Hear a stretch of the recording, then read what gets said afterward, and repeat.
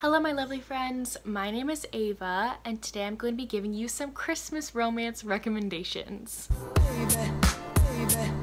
So I finally have read a bunch of Christmas romances where I have enough to recommend to you. You know, like I hadn't read enough before this year to like give you good recommendations. So I finally read a couple good ones. So I'm gonna give you a whole list of them. First, we're gonna talk about The Christmas Pact by Vi Keeland and Penelope Ward. This is an audiobook through Audible and you can get it if you have the um, Audible Plus membership. So this is about Riley Kennedy and Kennedy Riley. They have backwards names um, and they work at the same publishing company. And since their names are so similar, their emails kind of get mixed up sometimes. So they have to forward each other the correct emails. The two of them bicker a lot because of this. And so through some means and happenings, uh, they both have to pretend to be like fake dates to their family's gatherings around Christmas time. And they start to realize that they might not actually hate the other person um, and that they actually might be really attracted to the other person. So this was super fun, super entertaining. If you want an amazing holiday novella that is also an audiobook,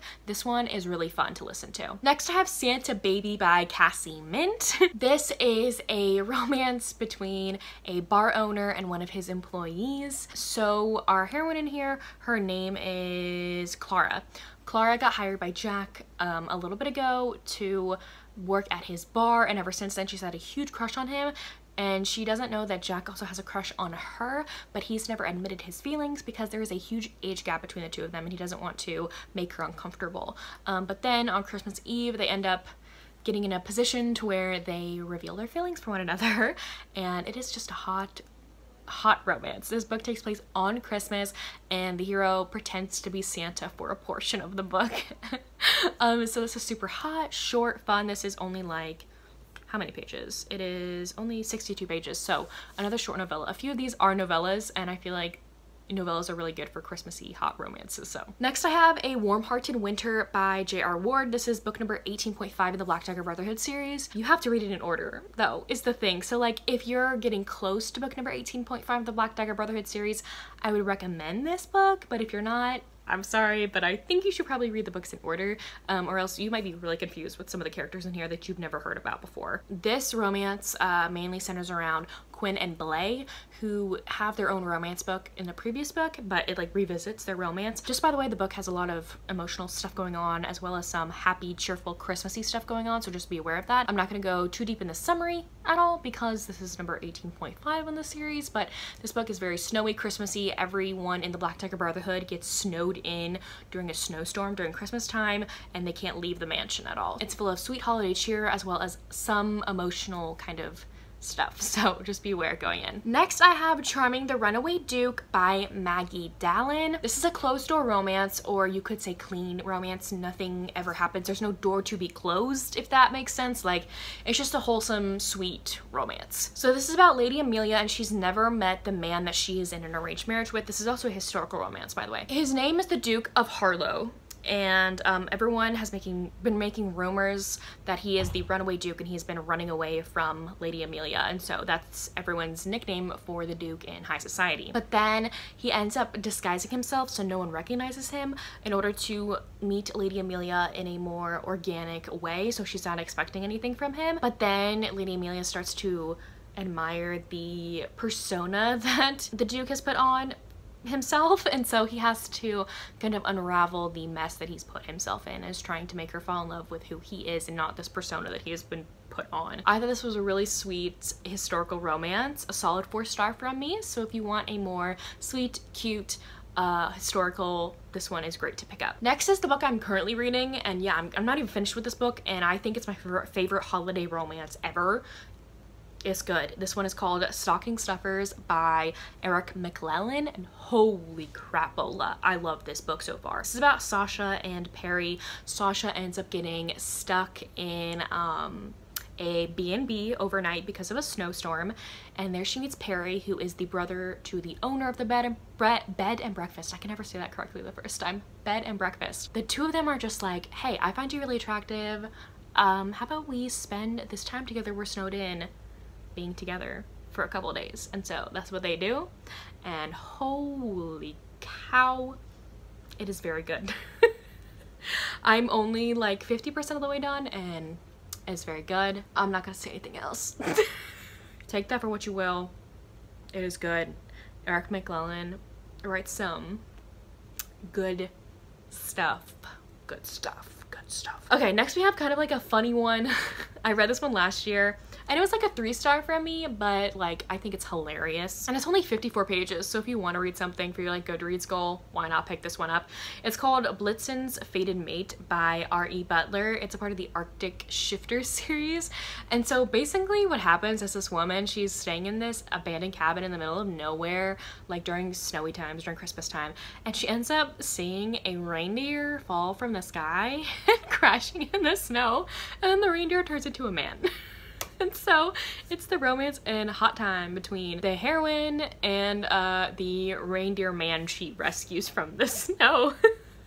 it's bizarre, it's funny, um, so I, I enjoyed reading this. Next I have three Ice Planet Barbarian books to mention just really fast. Um, no one thinks of when they think of Ice Planet Barbarians that there's holiday romances incorporated, but there are three. So um, if you don't know about Ice Planet Barbarians, it's an alien romance series that I'm obsessed with if you didn't know.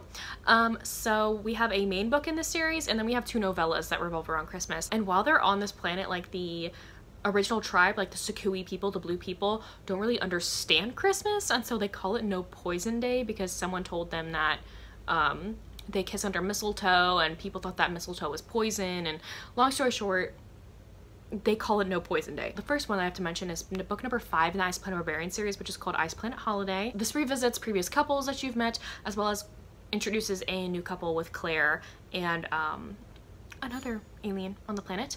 Um, I really enjoyed all these, by the way. Um, and then we also have Twas the Night Before No Poison Day. this is only 15 pages. Uh, you get this novella and the novella that I'm about to talk about. I think they're available on Ruby Dixon's website or her Facebook page because you can't get these two off Kindle Unlimited or Kindle at all or Amazon at all. Um, so that's how you read those. This is number uh, 10.5 in the Ice Home series. It just centered around Christmas. I don't want to talk too much because it is like 15 pages so. And lastly, Ruby Dixon also wrote A Gift for Drennel. This is book number 17.1 in the series and this is like a short, really, really short novella about one of the Sa-khui human children um, trying to befriend the tribe Grump um, and giving him a gift for Christmas and so cute. I loved this one. There's also a book called um, Barbarian Before Christmas by Ruby Dixon which is a Christmas story about my favorite couple so um, that one is in there as well for you if you want to check that one out. I just remembered that. Next I have two Kati Wilde books. We have Secret Santa by Kati Wilde. This is about Emma and Logan and so Emma has just been hired on this new I want to say furniture making company. The woman she's replacing is about to give birth so she's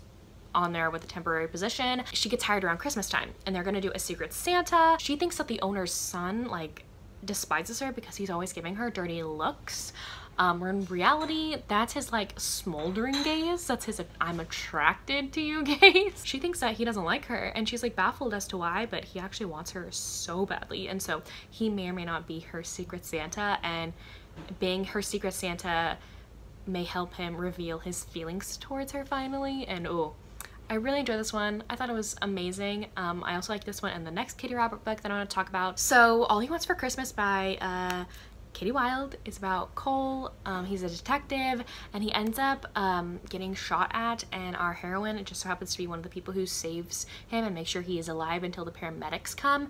And ever since then he can't stop thinking about the woman who saved him but he doesn't know how to get in touch with her. And little does he know that that woman is the daughter to the police chief. And the police chief has asked him to kind of keep an eye on her and to protect her a little bit because she's moving into the building that Cole lives in. But he cannot fight the attraction that he has for her. And oh they get together. It is fun. It is hot. They're trying to like keep their relationship a little bit of a secret because if the chief found out it would not be good.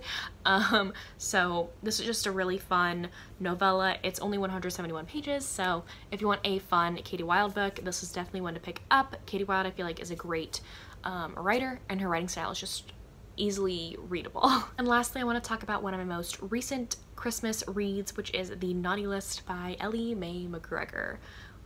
This one is so good. So this is about Kate and she's feeling a little bit down this Christmas. She is recently a single mother. She just got a divorce and her kids are with her ex-husband during Christmas time. But then on Christmas Eve, she ends up falling asleep in front of the Christmas tree and she wakes up to a man looming over her. And that man just so happens to be Santa, but he does not look like your stereotypical Santa. He is big, he is buff, um, he has tattoos, and he is hot. so Santa's name in here, his name is Nikolai, and right when he sees Kate, he knows he wants her for Christmas. And so this is like a fun, hot novella about Kate and Santa getting together, and holy crap, this was so much fun. This is one of the most fun novellas I've ever read. I really love Ellie Mae McGregor's writing style. I feel like it's super fun and easy to read and just very descriptive. I love it. If you were to read any books on this list, I would recommend this one as well as uh, so far Stocking Stuffers because that one is so good. Anyways, there you have it. Those are quite a few Christmassy related books that I hope you pick up that I recommend for a fun Christmassy time. Um, please let me know down below if you have read any of these books or if you plan to. If you have made it this far into the video, leave me a uh, any kind of snow related emoji. I would love to see it it. Anyways, I hope you'll have a great holiday season. Um, but anyways, thank you all so, so much for watching. I will see y'all soon in my next one. Bye, y'all.